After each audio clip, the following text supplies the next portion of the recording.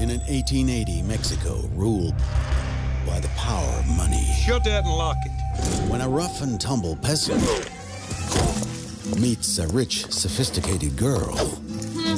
this leads